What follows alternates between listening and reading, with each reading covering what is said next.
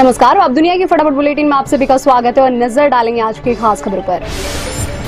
Tihar jail में बंद दिल्ली के मुख्यमंत्री अरविंद केजरीवाल का शुगर लेवल 320 पर पहुँच गया। इसके बाद उन्हें इंसुलिन दी गई। गिरफ्तारी के बाद पहली बार केजरीवाल को इंसुलिन दी गई है। तिहाड़ के एक अधिकारी ने कहा, एम्स के डॉक्टरों की सलाह पर केजरीवाल को सोमवार शाम कमडोज वाले इंसुलिन की दो यूनिट दी गई।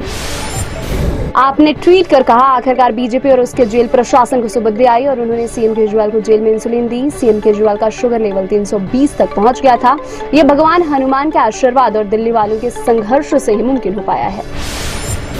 माफिया से नेता बने मुख्तार अंसारी की बिस्रा रिपोर्ट आ गई है। बिस्रा जाँच में कोई जहर नहीं मिला। बिस्रा रिपोर्ट ने आई जाँच टीम को भेज दी गई है। 28 मार्च को हुई थी मुख्तार अंसारी की मौत। सलमान खान के घर पर फायरिंग का मामला। मुंबई पुलिस के अपराध शाखा की टीम को 600 किलोमीटर दूर नदी से मिला सबूत। मेरठ में अरुण गोविल का रोड शो, राम के लिए सीता और लक्ष्मण ने मांगे वोट। लोगों ने रामायण के तीनों किरदारों का दिल खोलकर स्वागत किया। छब्बीस अप्रैल को मेरठ में होना है मतदान। फतेहपुरी सिकरी में सीएम योगी आदित्यनाथ का बयान। कांग्रेस सपा और बसपा के लोग जो माफिया की कब्र पर पढ़ रहे हैं फतीहा, उन्हें एक एक वोट के लिए तरसा दो। इनको कह दो कि वोट तो कमल के निशान पर जाएगा।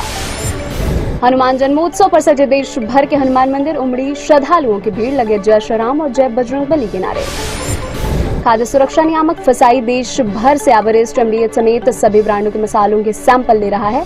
सिंगापुर और हांगकांग में दोनों कंपनियों के कुछ मसालों पर बैन के बाद उठाया गया यह कदम, होगी मसालों की गुणवत्ता की जाँच।